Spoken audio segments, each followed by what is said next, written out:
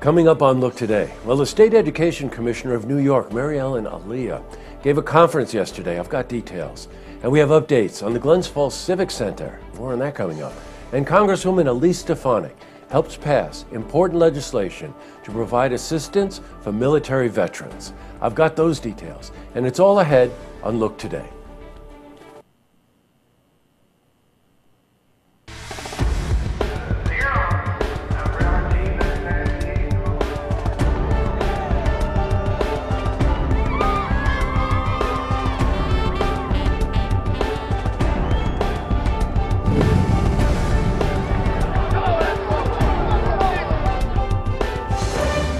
Welcome, everyone. I'm Jay Hood Jackson, and this is Look Today. In tonight's program, I sit down with Jeff Mead. He's the general manager for Glens Falls Civic Center. He's here to talk about all the new renovations happening at the center. Plus, I also sit down with Samantha Bosshart. She's the executive director of the Saratoga Springs Preservation Foundation. And we're joined by Seth Finkel. He's the honorary co chair to the foundation. They're here to discuss the upcoming Trask Art Show that's happening tomorrow. Plus, we've got your weather for the Tri North counties, but first, these headline stories. Well, in our lead story, State Education Commissioner Mary Ellen Elia addressed school superintendents yesterday at a conference. Now, the conference took place at the Saratoga Hilton. The commissioner addressed the issue of standards for testing in grades 3 through 8. Now, right now, too many students are opting out of tests in English and math.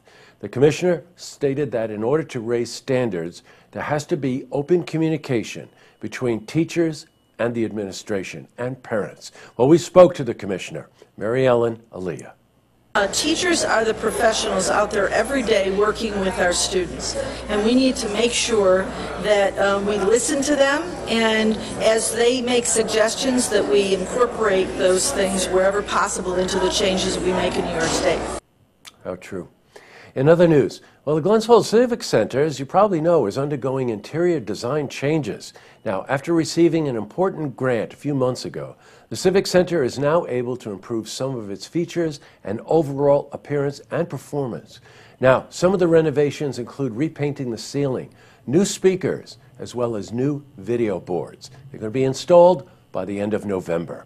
Well, we spoke to Jeff Mead. He's the general manager of the Glens Falls Civic Center.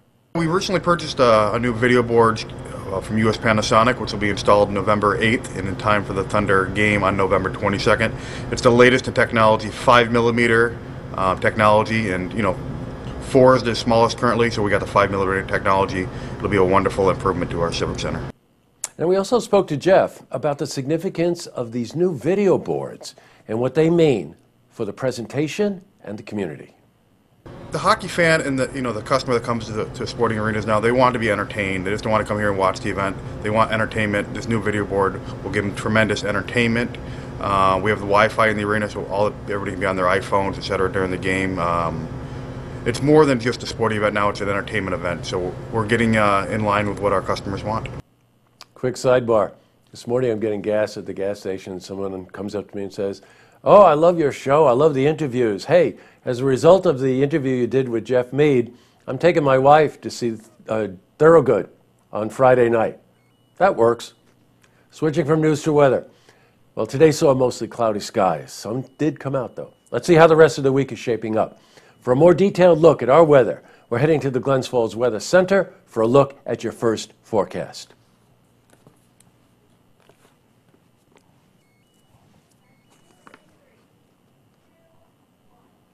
Back to the news. Well, Congresswoman Elise Stefanik voted in favor for the No Veterans Crisis Line Should Go Unanswered Act.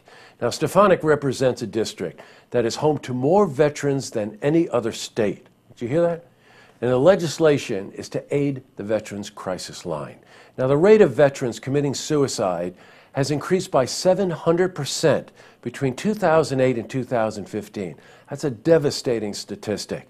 This legislation requires the Department of Veterans Affairs to develop a plan to ensure every call is answered in a timely fashion. Thank you, Congresswoman. Up next, I sit down with Jeff Mead. He's the general manager of the Glens Falls Civic Center. He's here to talk about new renovations happening at the center. Plus, I also sit down with Samantha Bosshart. She's the executive director of the Saratoga Springs Preservation Foundation. We're joined by Seth Finkel. He's the honorary co chair to the foundation. But first, if you see news happening, you want to share a story idea. How about join us for an interview? Give us a call on the hotline. The number is 798 8000. Well, that's all the time we have for this edition of Look Today. I've got a couple of lookouts for you tonight. Uh, the first one has to do with this wristband that I have on, which I'll tell you about in a minute. But um, I wasn't here yesterday, so we taped the news Monday, and some glitch happened last night, and we ran the wrong newscast in the beginning of the night. If you caught the later broadcast, we caught the mistake, so we apologize for any inconvenience. So, for the lookout tonight, I've got this wristband on, and no, I didn't go to the hospital. It says the word Porsche on it.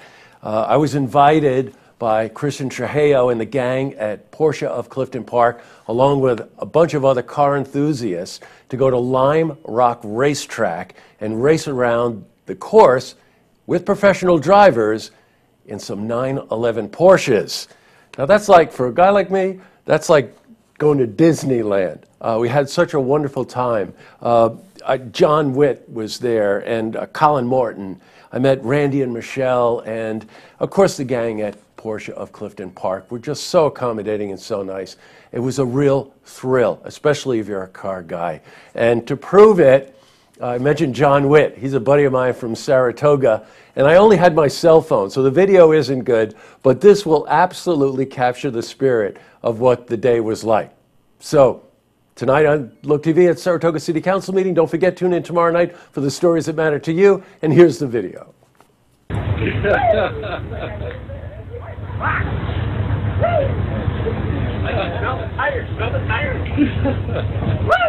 What'd you think, John? Oh, that's awesome. Good. Living the dream.